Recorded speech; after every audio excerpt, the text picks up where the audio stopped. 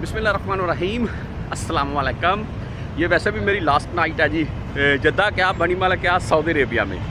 तो अभी जो सख्ती की सूरत हाल है, जो मैं पिछले कुछ दिनों से देख रहा था उससे आपको अपडेट करूँगा। कुछ लाइव व्यू भी आपको दिखा देता हूँ मैं, और कुछ जो हालात अपनी आँखों से मैं देख रहा हूँ, वो भी आपको दिखा देता हूँ।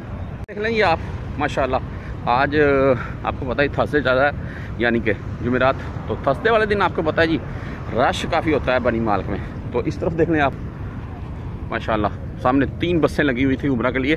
एक निकल चुकी है, बाकी दोनों भी फुल होने वाली हैं। अभी टाइम दस बनी बजे हैं। तो मदीना शरीफ भी लोग काफ़ी जा रखे हैं। पिछले वीक मैं भी गया था, आपके साथ मैंने वो मुकम्मल ब्लॉग शेयर किया है। तो अब सख्ती की सूरत ये है, यहाँ पर नीम के नीचे भाई अभी चेकिंग लगती है।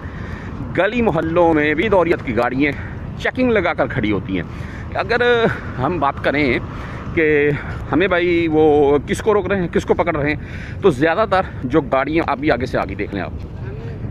मैंने उसकी वीडियो नहीं बनाई। क्यों? आपको पता ही, ममनू है। अभी गुजरी है एक, हमारे आगे से। तो ज़्यादातर ये गाड़ियों वालों को रोक रहे हैं। उनकी चेकिंग हो रखी है।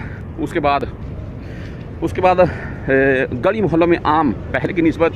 अभी हर गली में गाड़ी एक ना एक, या भाई दो चेकिंग लगा कर खड़े हुए हैं। तफ्तीश लगा कर खड़े हुए हैं। तो उसके बाद भाई, वो जो जिन बंदों के इकामे वगैरह का मसला है, उनको भी रोका जा रहा है। यानी कि साय खास है, अमल मंजली है तो उनके लिए मुश्किल है, ना?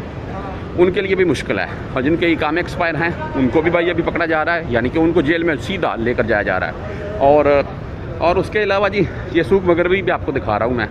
जिन बंदों का हरूब मतलूब है, वो तो भाई सीधा जब भी पकड़े गए गए फिर।